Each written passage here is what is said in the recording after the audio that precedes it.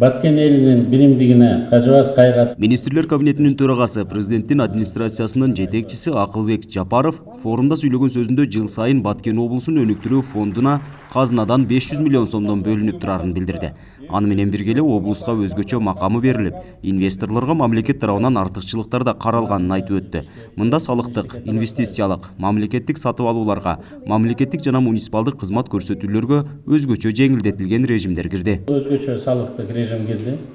чек ара айылдарында иштеген ишкерлер салыктын төрт түрүнөн таптакыр бошотулду пайда салыгы сатуу салыгы мүлк салыгы жер салыгы бүт баткен областы боюнча биз ушуну берүүгө даярбыз айыл чарба тамак аш энергетика кайра иштетүү экспортко багытталган баардык ишкердикке киреше салыгы беш жылга чейин беш пайызга ылдырлатылды аны он жылга чейин узартабыз деген мен сиздерге гарантия бере алам да? Мындан сырткары баткен облусу инвестициялык тармактарга бай экенин айтып транзиттик потенциалга ээ экенин билдирди бул экономикалык өнүгүүнүн коридору болот мындан сырткары кызыл кыя шаары ири логистикалык борбор болоорун баткен исфана аэропортторуна эл аралык статус берилип акча бөлүнөрүн айтып өттү аны менен катар эле кичи гэстерди курууга да бардык шарттар бар экенин билдирди баткенге инвестиция салуунун бир тармагы бул энергетика. Лейлектеги ак суу козу баглан баткендеги ак суу исфайра кожешкен соо адамжайда исфайран сай ак сай шахимарданда сыяктуу ири дарыялар чакан гэстерди күтүп жатат кыргыз орус өнүктүрүү фонду даяр сиздерге. Ушу гэстердин проектилердин баары даяр болсо акчасын бөлүп берүүгө. Мен дагы бир жолу айтайын именно ушу проектилерге финансы министрлиги гарантия берет да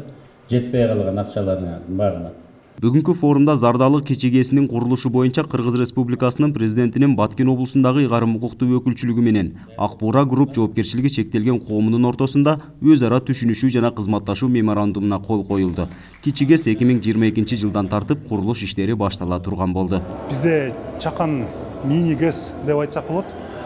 бул зардалы дагы жыйырма тогуз кубаттуулугу жыйырма тогуз мегаватт болгон зардалыдагы мини гэстин курулушу боюнча меморандум. Мегаватт гэс деген бул деген баткен районун толук электр энергия менен камсыз кылат баткенди өнүктүрүү өлкөнү өнүктүрүү форуму аймактын экономикалык потенциалын кеңейтүү жана инвестициялык мүмкүнчүлүктөрүн көрсөтүү жергиликтүү тургундардын жашоо сапатын жогорулатуу максатында уюштурулду бул жолку форум башка форумдардан айырмаланып мамлекет тарабынан атайын өнүктүрүү программасы бекилген биринчи жолу баткен областында мамлекеттик деңгээлде ушул өнүгүү программасы жогорку органдар тарабынан бекилди. Ал жерде бекилгенден кийин албетте ал жол картасында ошол иш чараларды аткаруу боюнча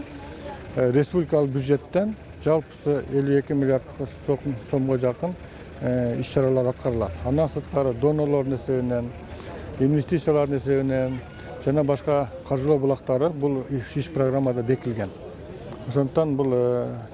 өткөн форумдарга салыштырмалуу реалдуу иш чаралар бекилди форумдун жыйынтыктары боюнча жаңы жылга чейин өкмөттүн отуруму баткенде өткөрүлө турган болду. Мында кабыл алынган чечимдердин аткарылышы кол коюлган бизнес долбоорлордун иши жана өкмөт тарабынан жардамдар талкууланат. Нургазы жайнаков регион телеканалы баткен облусу